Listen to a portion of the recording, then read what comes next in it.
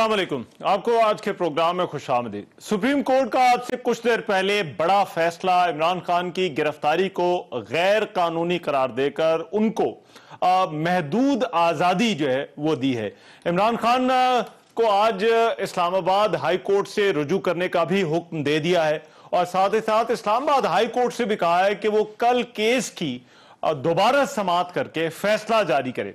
आज की जो समात हुई, उसमें चीफ जस्टिस ऑफ़ पाकिस्तान का यह कहना था कि मामला अदिया के एहतराम का है।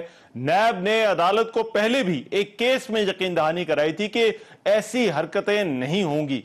चीफ जस्टिस ने यह भी कहा कि वारंट की कानूनी हैसियत का नहीं, बल्कि उसकी तामील जिस तरह से हुई उसका जायजा ले रहे हैं। चीफ जस्टिस ऑफ़ पाकिस्तान ने पुलिस को हिदायत की कि इमरान खान को गेस्ट हाउस में ही रखा जाए और यह भी कहा कि वो सुप्रीम कोर्ट की तहवील में होंगे। इमरान खान दोस्तों और रिश्तेदारों से मिल सकेंगे। पीटीआई चेयरमैन ने बनी गाला में रहने की सदा की, जिस पर चीफ जस्टिस ने कहा कि हम नहीं चाहते कि आपको कोई नुकसान पहुँचे। इमरान खान की सिक्योरिटी की गारंटी सरकार की होगी। चीफ जस्टिस ने यह भी कहा कि अदालत की ख्वाहिश है कि आप पुरतशद मुजाहरों की मजम्मत करें, जिस पर इमरान खान ने कहा कि वो गिरफ़्तार थे। उन्हें नहीं मालूम बाहर क्या हो रहा था। बेंच में शामिल जस्टिस सत्र मंडला ने भी कहा कि अदालत में सरेंडर करने वालों को गिरफ़्तार किया जाएगा तो कोई अदिया पर एतबार क्यों करेगा? नैब कई साल से मुंतखब नुमाइंदों के साथ ये हरकतें कर रहा है। इससे पहले अटॉर्नी जनरल और एडवोकेट जनरल इस्लामाबाद भी अदालत के सामने पेश हुए। अटॉर्नी जनरल ने पेशी के लिए कल तक की मोहलत तरफ़ की, जिसे चीफ जस्टिस ने मुस्तरद किया और इमरान खान को फिर अदालत में उसके बाद पेश करने का कहा। मुस्लिम लीग नून का इस फैसले से पहले ही रद्दमल आना शुरू हो गया था। आपसे कुछ देर पहले ख्वाजा आसिफ ने प्रेस कॉन्फ्रेंस की, लेकिन वज़ीर इतलात मरियम औरंगज़ेब ने एक बड़ी सख्त प्रेस कॉन्फ्रेंस की और कहा कि मुल्क को जलाने वालों की पुष्ट पनाही की जा रही है। जिनके घर जलाए गए, वो भी मुल्क के शहरी हैं। अगर ऐसे ही रिलीफ देना है तो फिर अदालतों, कचहरियों को बंद कर दें। जिसका अल कादिर ट्रस्ट बनकर इमरान खान और उसकी एहलिया ट्रस्टी बने। उसके अंदर इस मुल्क का साठ अरब आया खज, कौमी खजाने का तो जवाब क्यों नहीं देते? पोलिटिकल पार्टीज़ रियासती अदारों को नहीं जलाती अमारात को नहीं जलाती बदतरीन दुश्मन वो नहीं कर सका जो इमरान खान ने किया और आज अदालत उसको रिलीफ देगी। तो फिर तमाम कचहरियाँ बंद कर दें अदालतें बंद कर दें थाने बंद कर दें कोई इस मुल्क के अंदर ना कानून हो ना अदालतें हो। मरियम नवाज़ ने भी सोशल मीडिया पर जारी बयान में चीफ जस्टिस पर कड़ी तनकीद की। अब हकूमत ने कौमी सलामती कमेटी का हंगामी इजलास कल तलब कर लिया है। दूसरी तरफ़ तहरीक इंसाफ के रहनुमाओं की गिरफ्तारियों का सिलसिला आज भी जारी रहा। तहरीक इंसाफ के रहनुमा अली मोहम्मद खान जिन्होंने आज हमारे शो में भी आना था वो हमारे आज मेहमान भी थे आ, उन्हें भी आ, कुछ देर पहले गिरफ़्तार कर लिया गया। हालाँकि वो तहरीक इंसाफ के उन रहनुमाओं में से हैं जिन्होंने बगैर किसी लगी लपटी के पुरतशद वाकत की मजम्मत भी की थी।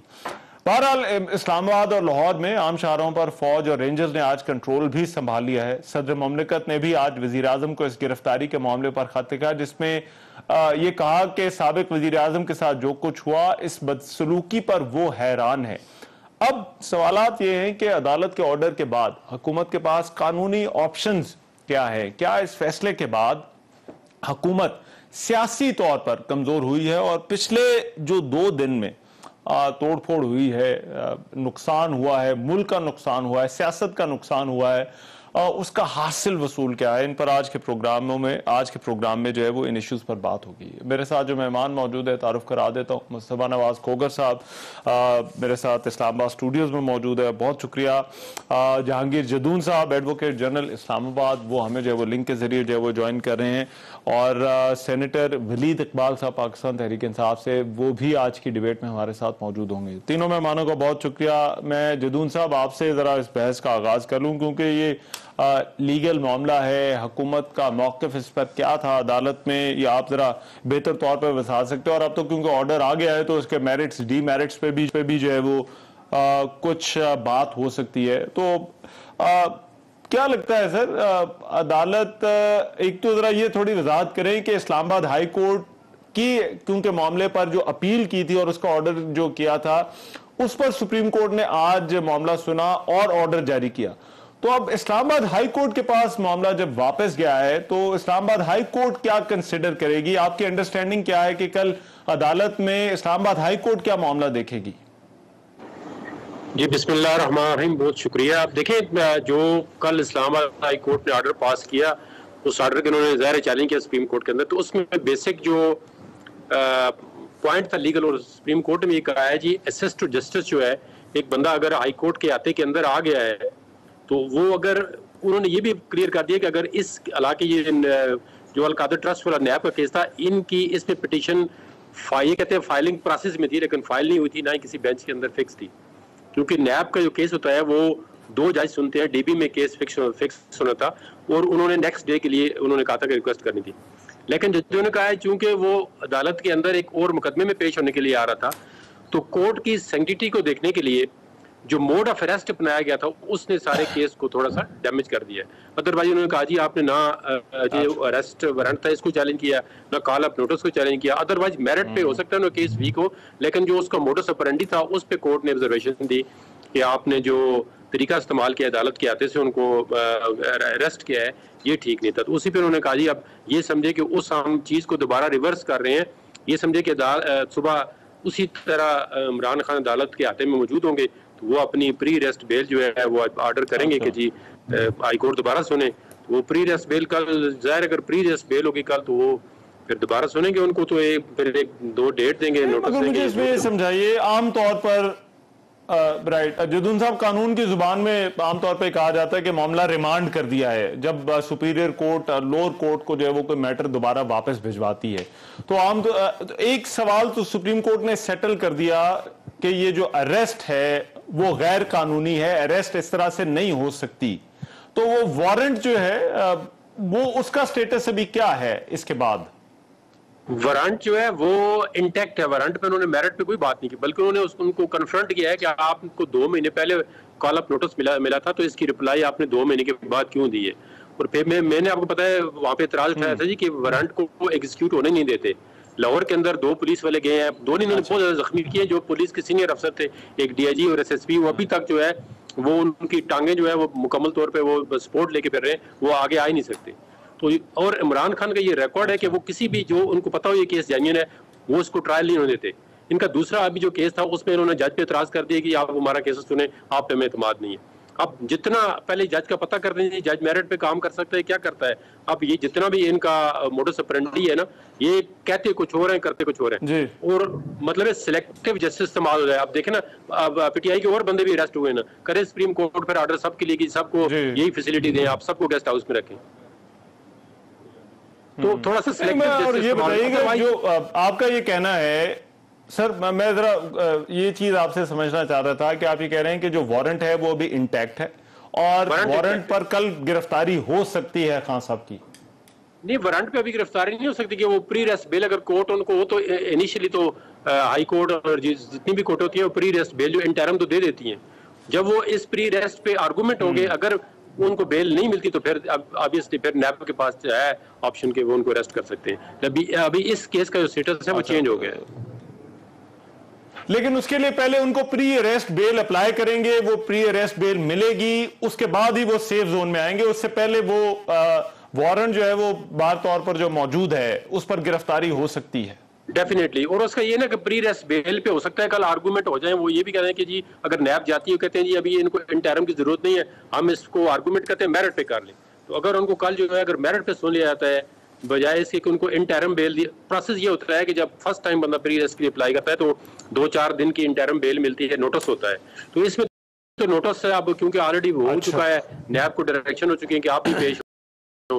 हो सकता है कल मेरिट पे ही हो जाए और जो फैसला होगा इसके अंदर तो हो सकता है कल बेल इनको अगर मिल जाएगी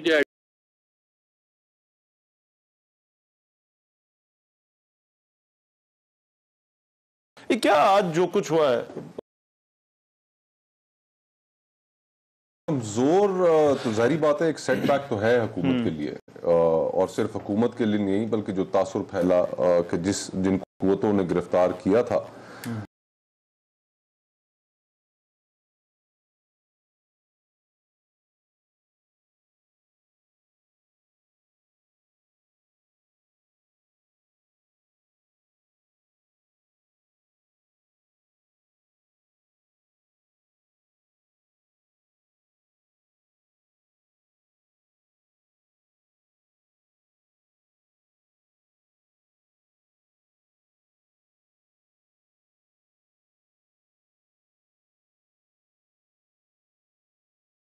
भी दिखाई कि मोर देन ऑफ़ पिछले कई सालों से मुंतखब नुमाइंदों के साथ इस तरह का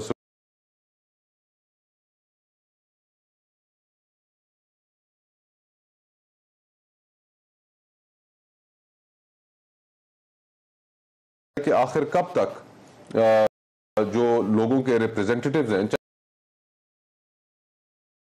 टीवी के ऊपर और उन्होंने पूरी की पूरी लिस्ट गिनवाई जो मुंतखब सारे ही हमारी हुसैन शहीद सरवर्दी साहब से लेकर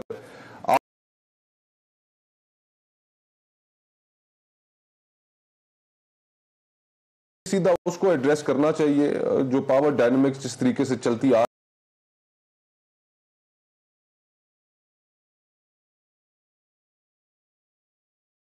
ज़्यादा बात हुई एक तो खैर नैब का लॉ अब तब्दील हो गया लेकिन हम्म। नैब ने अदालत को ही एक और केस के अंदर यकीन दहानी कराई थी जिसमें एक मुलजिम को उन्होंने इसी तरह से पार्किंग एरिया से हम्म। गिरफ़्तार किया था और उस पर भी अदालत ने नोटिस किया था और अदालत ने उस पर नैब की सरजनिश भी की थी और उस पर नैब ने माफ़ी तलाफी करके अदालत से अपनी जान छुड़ाई थी। वो केस आज फिर अदालत में उस पर बात हुई और चीफ जस्टिस और गालिबन जस्टिस सतर में निर्ला ने ही उस केस का हवाला दिया और उन्होंने कहा कि नैब पहले इस तरह की हरकत कर चुका और पहले भी जो है वो बच गया था। तो ये दोबारा से हुआ जिसकी वजह से नैब का भी एक एक बैगेज है बैगेज उनका नैब का बैगेज तो नहीं है वो तो एक स्लॉटर हाउस है। अच्छा। पॉलिटिकल इंजीनियरिंग के लिए इस्तेमाल होता है। खोसा साहब की जजमेंट्स आप निकाल कर देख ले, जिसके अंदर क्लियरली उन्होंने कहा है कि ये as a tool political engineering के लिए इस्तेमाल होता है नैब। माजी में हमारे पास एविडेंसेस मौजूद है। मेरे अपने मरहूम वालिद ने नैब की कस्टडी में चार साल गुजारे। टू बी मुशरफ के दौर में and to be honourably acquitted later on तो नैब तो स्लॉटर हाउस है सियासतदानों के लिए। ये, और ये भी एक एक्सेप्टेड जूरिस्प्रूडेंस है कि जब कोई बेल लेने के लिए अदालतों के पास आता है तो उसको कोर्ट प्रेमिसेस में उसको गिरफ़्तार नहीं किया जाता। मेरे ऊपर पिछले दौरे हुकूमत में एक इमरान खान साहब के दौर में उन्होंने दो एफआईआर कर दी। और उन एफ़ के लिए जब मैं अपनी बेल कराने के लिए गया तो मैं अदालत के अहाते के अंदर जब मैं पहुँच गया तो I was confident accepted jurisprudence I, I approached the court and the court uh, gave me the bail practice तो, यही प्रैक्टिस यही है। अब ये सारी प्रैक्टिस जो है आप इनको ओपनली फ्लाउट करें। और फ्लाउट करने के बाद फिर आप तो करें कि अदालतें जो है वो इसके ऊपर बात नहीं करेंगी तो बात तो ज़रूर होगी। हम्म। और जो रिलीफ इस मामले में इमरान खान साहब को दिया गया है उनको सिर्फ़ उसी पोजीशन में प्लेस किया गया है जिस पोजीशन में वो अपनी गिरफ्तारी से इमरान खान को स्पेशल ट्रीटमेंट मिल रही है कोर्ट के अंदर? इसका स्पेशल ट्रीटमेंट बिल्कुल देखिए फिर अगर पाकिस्तान के सबसे पॉपुलर आप लीडर हो ऑपरेस्ट क्लासेस ऑफ़ डीएचए वो आपके साथ हो। और हुकूमत इतनी अनपॉपुलर हो कि जो अच्छा। जिसका बैगेज कोई ना उठा सके तो फिर आ, रिलीफ तो फिर अच्छा। मिलता ही है। ठीक। मैं वलीद इकबाल साहब को भी जरा शामिल करते हैं। वलीद इकबाल साहब साथ हैं? जी। अच्छा। वलीद इकबाल साहब दो चीज़ें। पहले तो एक तो ये लीगल क्वेश्चन है और फिर पॉलिटिकल क्वेश्चन आपसे। लीगल क्वेश्चन ये है कि आपकी नज़र में जब ये मामला रिमांड हो गया इस्लामाबाद हाई कोर्ट तो इस्लामाबाद हाई कोर्ट अब किस मामले को देखेगी? क्योंकि जो गिरफ्तारी कानूनी या गैर कानूनी वाला मामला तो सुप्रीम कोर्ट ने सेटल कर दिया। तो कल इस्लामाबाद हाई कोर्ट के सामने क्या मैटर होगा? आई डोंट थिंक मैं इसको रिमांड कर लफ्ज कहूँगा अच्छा। मुझे मौका नहीं मिला वो ऑर्डर पढ़ने का। ठीक है। आई थिंक वो आ गया हुआ है। लेकिन आई डोंट थिंक मैं इसको रिमांड का केस तस्वर करता हूँ। देखें ये थी एक आज से दो रात कबल तकरीबन दस बजे रात को इस्लामाबाद हाईकोर्ट की एक फैसला साबित तो फिर उनके सामने ये मामला है कि क्या ये अरेस्ट कानूनी है या गैर कानूनी? हाँ। गिरफ्तारी की गई जिसकी आपने सारी फुटेज देखी दुनिया भर में चली उसकी ऑप्टिक्स जो है वो अपनी जगह वो आप लेकिन उसके साथ साथ वहाँ अदालत के प्रीसिंक्ट की अदालत के जो अहाता है भले वो कमरा है अदालत ना सही लेकिन वो अदालत ही तस्वर होता है जहाँ वो बायोमेट्रिक्स के लिए बैठे हैं। वहाँ पे ब्रेक इन किया गया फोर्सेबल एंट्री की गई शीशे तोड़े गए।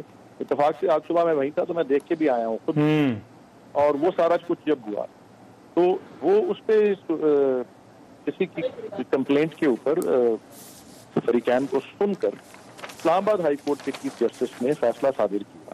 जी। ये जो गिरफ्तारी है ये कानून के मुताबिक उसके ऊपर ये अपील दायर हुई।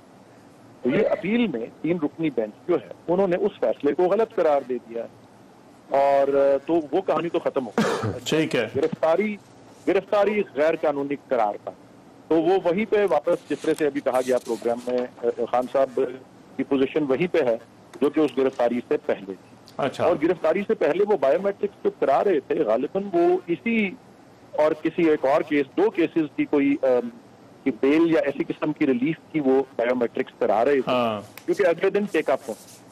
तो इस्लामाबाद हाईकोर्ट के पास देखिए रिमांड तो कोई एक ऐसा एक केस होता है जब कोई एक फैसला एक अदालत करती है और अपील में जो अपील वाली अपेलेट कोर्ट है वो कहती है कि जी हम इसको खुद नहीं फैसला करते हैं हम वापस भेजते हैं दोबारा हाँ। कंसिडर करते रीट्रायल ऑर्डर कर दिया जाता है हाँ, ऐसा कुछ नहीं हुआ। अच्छा। वो एक मामला अब खत्म हो चुका है। सो आप ये कह रहे हैं कि ये रीट्रायल नहीं है गिरफ्तारी वाला मामला दोबारा डिस्कस नहीं होना अब वो वो चीज़ें जो है वो निकल गई हैं इस मामले में हाँ जी अब वो उसी पोजीशन में चले गए हैं जिस तरह के वो बायोमेट्रिक्स के कराने के लिए जब बैठे हुए थे साहब वहाँ पे जिस पोजीशन में वो थे और अगले दिन उनकी बेल मेरे ख्याल टेकअप होनी थी। जी। वही उन्होंने सुप्रीम कोर्ट ने इसी हद तक ये कहा है कि आप इस्लामाबाद हाई कोर्ट से रिव्यू करें क्योंकि वही मुतालिका कोर्ट है जिससे वो कोई रिलीफ मांग रहे थे। इस केस के जो अलकादर ट्रस्ट केस है उसके हवाले से भी और शायद एक और केस भी है उसके हवाले ठीक। तो देर इज़ नो अच्छा। तो अब अब दूसरी चीज़ अब आपको क्यों हुकूमत को क्यों लगता है कि खान साहब को कोर्ट्स जो हैं वो कोई स्पेशल ट्रीटमेंट जो है वो दे रही है? देखें जी हुकूमत के सर पे तो एक ही चीज़ मंडला रही है।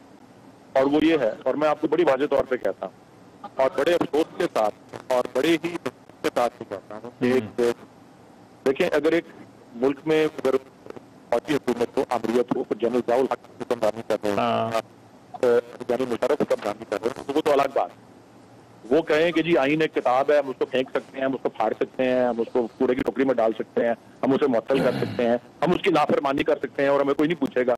लेकिन सीधी सीधी बात है। आइन का एक बुनियादी सुतून जो है वो इंतखाबात है और जमहूरी अमल और उसमें भी अ, जो अ, तरीक़ाकार है वो यही है कि कोई असेंबली तहलील हो तो नवे दिन के अंदर इलेक्शन होना ज़रूरी है। ठीक। तो उसको डॉज करने के लिए हर हरबा इस्तेमाल हो रहा है कि कोई डाइवर्जन क्रिएट कर दी जाए। बगैर इस बात को सोचे हुए कि उसका क्या रद्द अमल आ सकता है मीशत को क्या नुकसान हो सकता है स्टॉक मार्केट को क्या नुकसान हो सकता है आपकी करेंसी को क्या नुकसान हो सकता है आपकी प्रोस्पेक्ट जो है जो अब मुमकिन है आईएमएफ के साथ कुछ ये सिर्फ़ फरार हासिल करना चाह रहे हैं इलेक्शन हाँ। से और अल्फाज में अंग्रेज़ी के बोलूँगा बाई हुक और बाई क्रोक जो भी उनको तरीका मिला अच्छा। तो ये भी सारी वही हरकतें हैं और हैं आपने देखा है ये देखें किसी महजब मुल्क में ये नहीं होता कि फैसला अगर खिलाफ आ जाता है हुकूमत के तो जिस तरह से मरियम और जेब ने आज वो बात शुरू की भी थी और फैसला आने से पहले शुरू की। मेरे ख्याल एक आध को तो अब अब जो जितनी सुप्रीम कोर्ट ने जब्त दिखाई है एक आध को बुला के मेरे ख्याल जेल भेज के और डिस्कालीफाई करके जो है थोड़ा सा मैसेज जाएगा कि कोई अच्छा। एक एहतराम होता है अदालतों का अदालती फैसलों का। अगर आपको इस फैसले से इख्तलाफ है उसके लिए आप टेम्परेट लैंग्वेज इस्तेमाल कर सकते हैं। अगर आप फैसला समझते हैं गलत है आप नज़र सानी फ़ाइल कर सकते हैं आप अपील कर सकते हैं। लेकिन ये तरीका और फिर ये बिल्कुल मैं कहता हूँ कि क्लासिक क्लासिक मिसाल एक मुहावरा है ना उर्दू का कि उल्टा चोर कोतवाल को डांट रहा है। हाँ। ये पीडीएम गवर्नमेंट ये कर रही है और आज नहीं कर रही। ये पिछले तीन चार महीने से कर रही है और मुझे लग रहा है और मैं सर्वसुजूद होकर ये कह रहा हूँ कि मुझे अब लग रहा है कि सुप्रीम कोर्ट ये देख के रवैया अब मुतहद हो रहा है। आज अच्छा। देखे ना जैसे अतर बिन अल्लाह उन इख्तलाफ करने वाले जजेस में थे। अब वो इस बेंच पे बैठे हुए थे वो भी इस्लामाबाद हाईकोर्ट के चीफ जस्टिस रहे हैं। उनको भी अब ख्याल आ रहा है कि ये ये हाई हैंडेडनेस कहाँ तक चली गई है? और मुझे मैं समझ मैं यकीन रखता हूँ कि सुप्रीम कोर्ट के तमाम जजेस जो है पूरे का पूरा कोर्ट जो है वो आइन की पासदारी करने और आइन के तकाजों को पूरा करने में पूरा यकीन रखता है डॉक्ट्रिन ऑफ़ नेसेसिटी वाला कोर्ट ये नहीं रहा। ये जस्टिस मुनीर वाली जो सोच है ये अब अब खारिज हो चुकी है पाकिस्तान की अदलिया में से। अच्छा ठीक। लेकिन चले मैं जरा ये गवर्नमेंट के पास लीगल ऑप्शन क्या है क्या कोई अभी गवर्नमेंट के सामने कोई कानूनी ऑप्शन हैं क्योंकि ये मामला तो सारा कानून का ही है और फिर अदालत से आज खान साहब को रिलीफ मिला। अदालत में ये है तो सियासी लड़ाई, लेकिन ये अदालत के अंदर ही लड़ी जा रही है। मैं जरा जहांगीर जदून साहब से पूछूँगा कि गवर्नमेंट ऑप्शंस इस वक्त क्या हैं एक ब्रेक के बाद।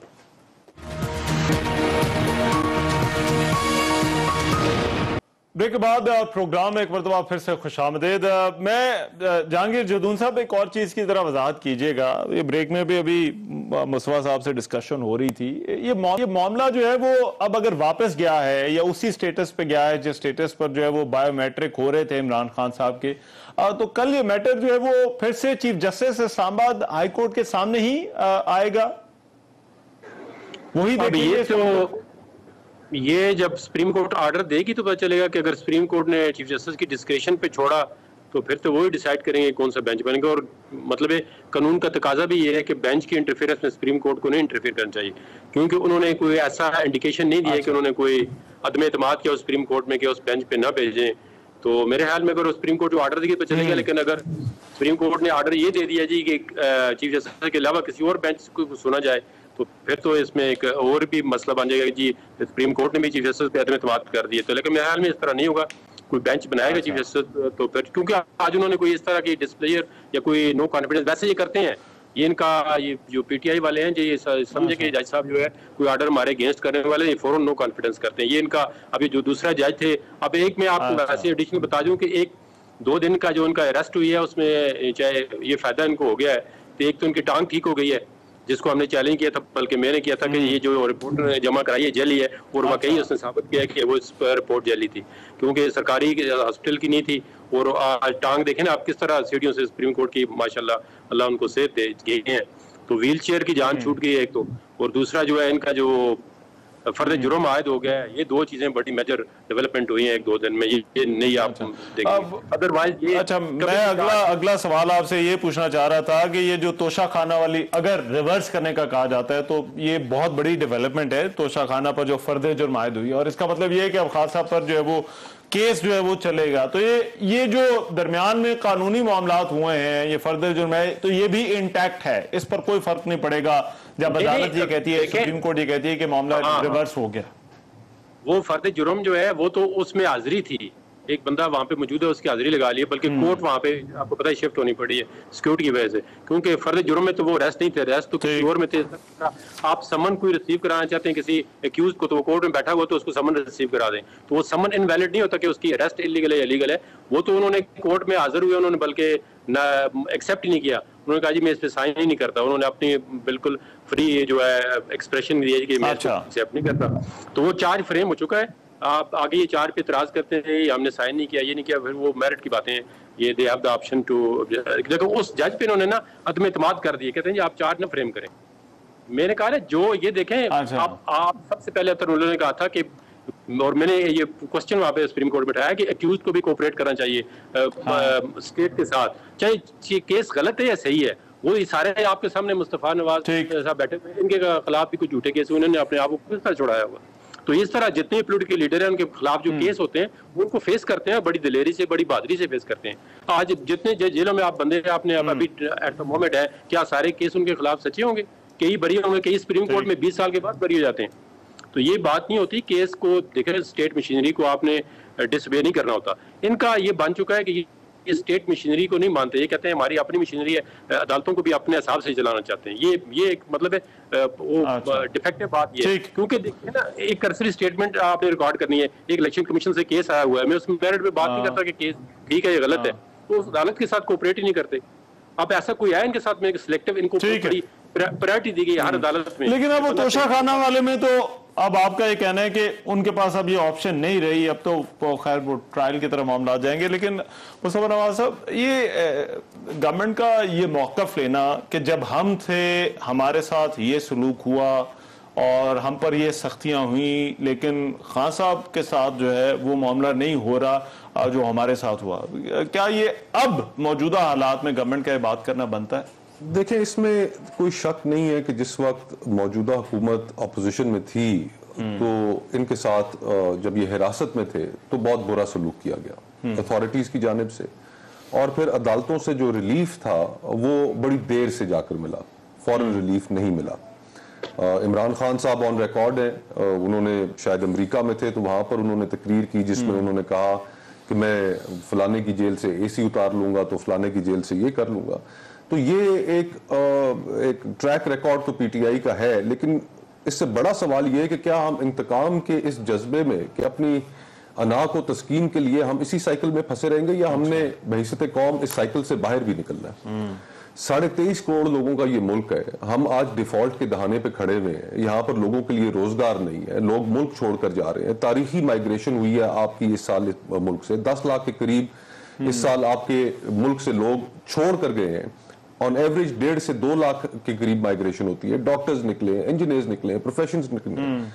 कारोबारी लोग अपना पैसा लेके इस मुल्क से बाहर निकले हैं। ना इस मुल्क में सेहत का बंदोबस्त है ना इस मुल्क में तालीम का बंदोबस्त है ना यहाँ पर इंसाफ है।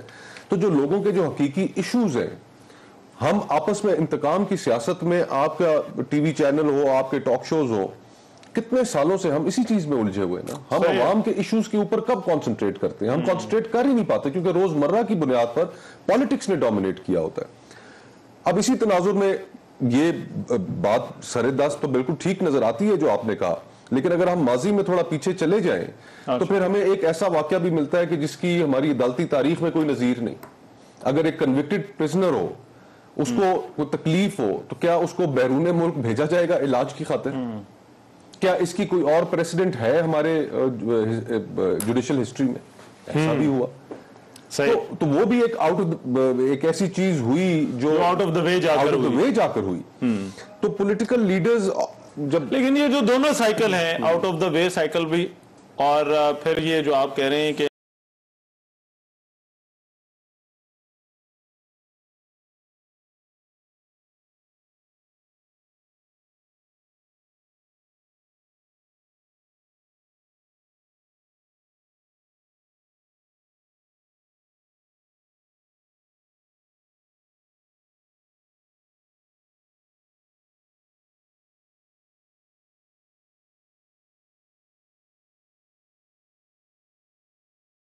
लीडर मियाँ नवाज़ शरीफ साहब और शहीद बीबी।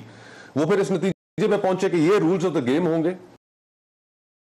हम किसी के हाथ में नहीं खेलेंगे और हम एक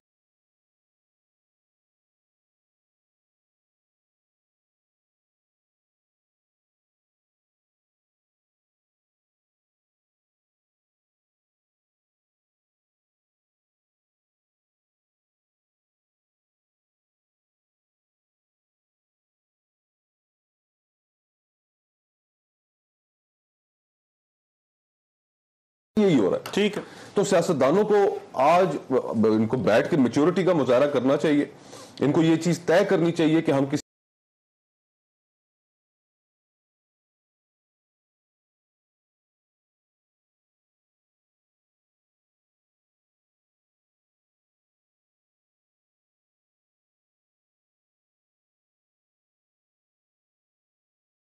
आपका निज़ाम तो हालाँकि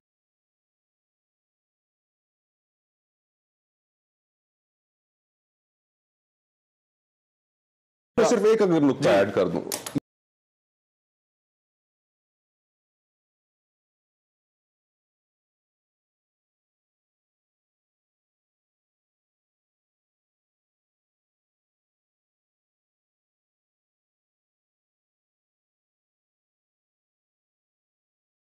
और शिक थी उसको खत्म करने पे थी।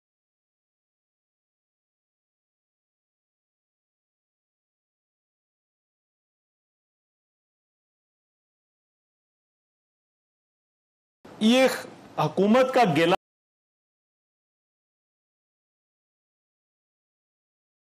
रही थी और उस वक्त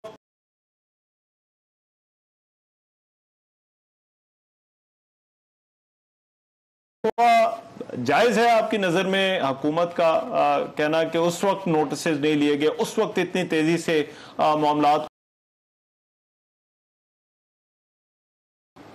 मेरे ख्याल में सबसे उसका एक मुख्तसर जवाब तो यही है कि जो आज इस केस से शुरू कर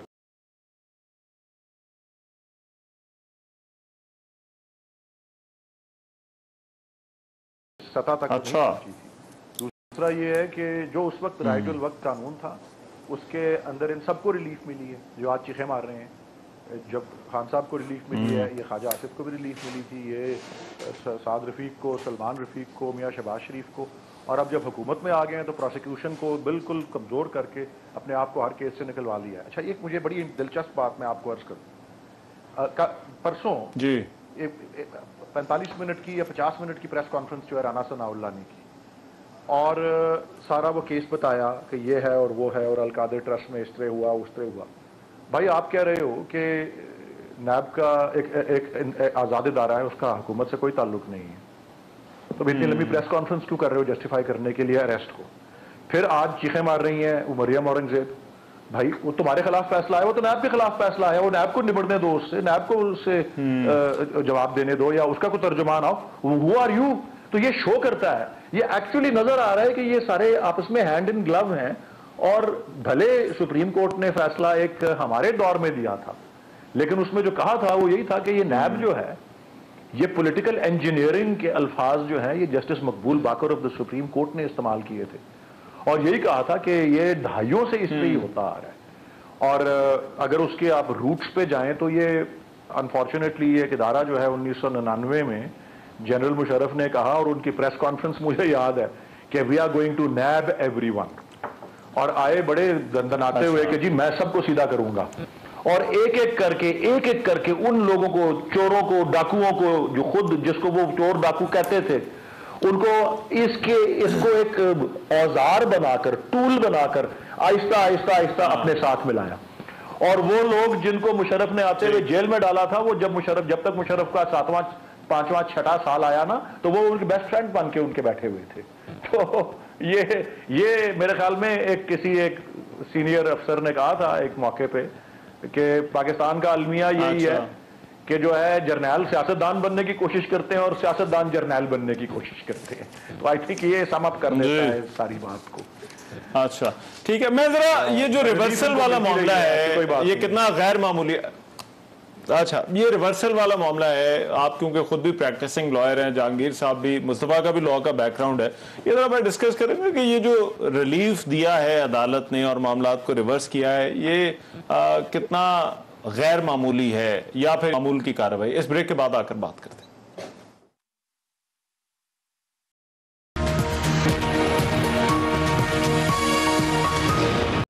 पहले सवाल आपके लिए छोड़ा कि और ये सवाल उठाया भी जा रहा है नून लीग की तरफ़ से कि ये बहुत ही अनयूज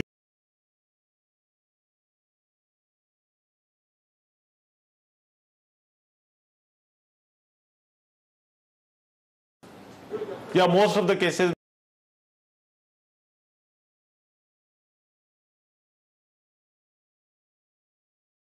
जब कोर्ट में कोई शख्स आता है उसका तस, उसको कानून ये बात तस्वर कर लेता है या तस्लीम कर लेता है कि उसने अपने आप को सरेंडर किया हुआ है to the to the court और वहाँ उस अहाते से और वो जिस तरह आपने बताया कि कार पार्क ये वो देखें सीधी सीधी बात है एक फैसला एक एक अदालत ने फैसला किया उसके सामने भी यही था कि क्या ये गिरफ्तारी कानून के मुताबिक है या खिलाफ कानून है? उन्होंने काफ़ी देर बहस करके बड़ी बरहमी का इजहार करके जो इस्लामाबाद हाईकोर्ट के चीफ जस्टिस थे दो अब आला अफसरान को कंटेम्प्ट नोटिस भेजकर सेक्रेटरी दाखिला और आईजी इस्लामाबाद को कंटेम्प्ट नोटिस भेजकर रजिस्ट्रार को ये हुक्म करके कि वो एफआईआर लॉन्च कराएँ और फिर 14 मई को दोबारा इस मामले को टेकअप करें।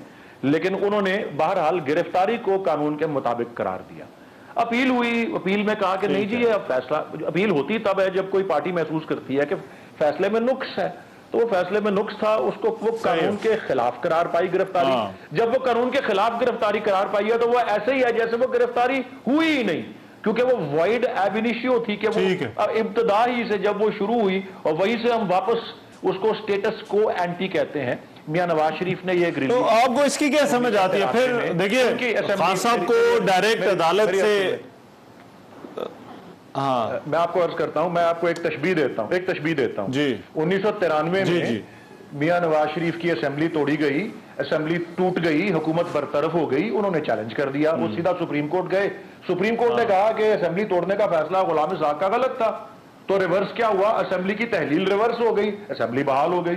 तो रिवर्स तो होता ही है अपीलों में होता ही यही है। इसमें तो कोई गैर मामूली या अनयूजल हाँ, बात कतई तौर पे नहीं है। लेकिन अब उसमें वलीद इकबाल साहब ये जरा आपको क्या समझ आती है?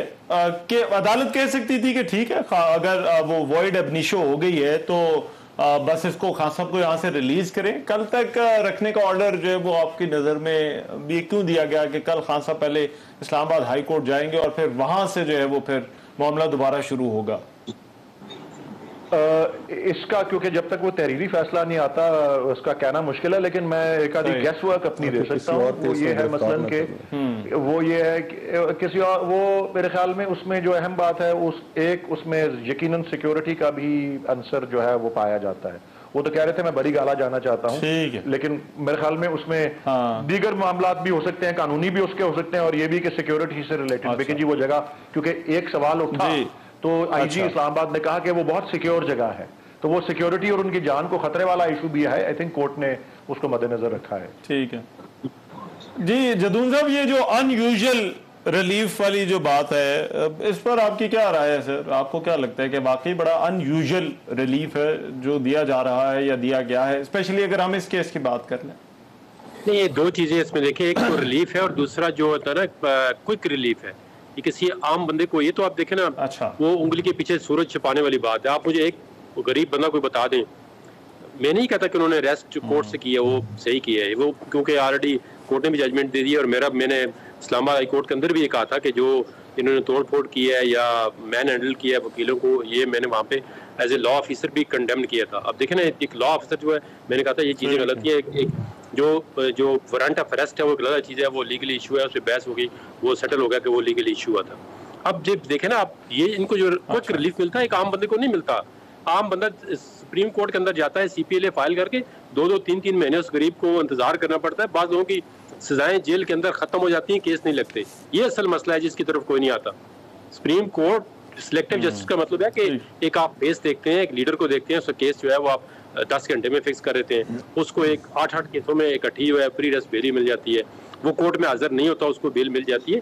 ये चीज़ें जब तक जुडिशियल सिस्टम में रूल ऑफ़ लॉ में सब लोग बराबर नहीं होंगे इंसाफ का जो निज़ाम है वो लेकिन मगर सर मतलब मुझे एक और चीज़ जदून साहब जरा बताइएगा। देखिए सुप्रीम कोर्ट के जो बेंचेस की फॉर्मेशन है उस पर भी आप लोगों के एतराजात हैं तहफात हैं। लेकिन अब ये कमो मोरलेस एक ऐसी ही सिचुएशन शायद इस्लामाबाद हाई कोर्ट के अंदर भी जो है वो देखी जा रही है। आ, कुछ चीज़ें हैं। तो ये अब इस्लामाबाद हाई कोर्ट में भी आपको एक क्या ऐसी ही सूरत हाल का सामना है या वहाँ पर भी आपको इसी तरह के तहफात हैं चाहे वो बेंचेस फॉर्मेशन के हवाले से हो या जो मोजिद जज साहबान आपका मैटर सुन रहे हैं या सुनेंगे। देखें देखें जज कोई भी हो रहा हो उसको बंदे का फेस देख के या पोलिटिकली मोटिवेशन के अंदर केस डिसाइड नहीं कर जाए। चाहे वो सुप्रीम कोर्ट का हो चाहे वो हाई कोर्ट का हो चाहे वो एक लोअर कोर्ट का हो।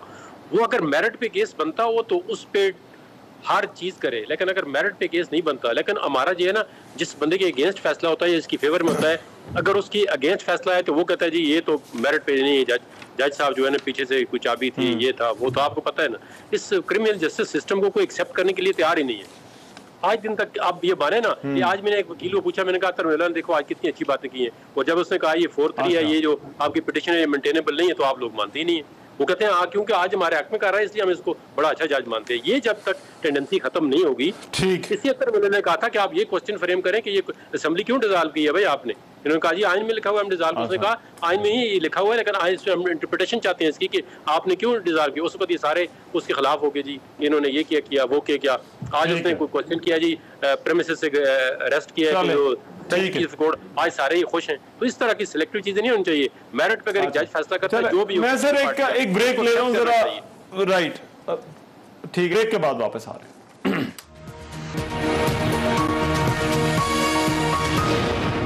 ब्रेक के बाद प्रोग्राम एक मरतबा फिर से खुश आमदेद ये जो पिछले मुस्तफ़ा साहब दो तीन दिनों के अंदर हुआ है तहरीक साहब बतौर पार्टी से रिकवर कर लेगी क्योंकि तोड़ फोड़ और ये जो चीज़ें हुई हैं उसके बाद जारी बात है पार्टी से भी बहुत सारे सवाल पूछे जा रहे हैं।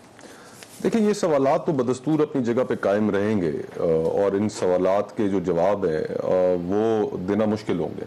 हम्म। अब एंबुलेंस अगर एक जला दी जाती है तो उसमें से मरीजों को उतार के उसको नज़र आतिश कर दिया जाता है तो उसका जवाब कोई नहीं दे पाएगा वलीद तो और ये बात होती है कि पार्टी अपने आप को अपने वर्कर्स से डिस्टेंस नहीं कर सकती। This is how the way things are और एक बड़ा मशहूर मकूला है कि the movement should not control the leadership the leadership should control the movement. बार तौर लेकिन हमारी जो सियासत है रहमान भाई मेरे ख्याल में वो एक ऐसी अनचार्टेड टेरिटरी में एंटर हो चुकी है।